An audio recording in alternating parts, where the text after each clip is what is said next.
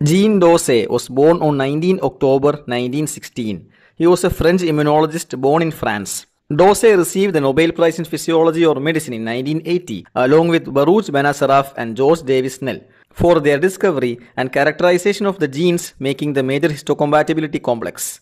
Using the money from his Nobel Prize and a grant from the French television, Dausset founded the Human Polymorphism Study Center CEPH in 1984, which was later renamed the Foundation Jean Dausset CEPH in his honor. Jean Dausset also won the Wolf Prize in Medicine in 1978. Jean Dausset died on June 6, 2009 in Spain at the age of 92.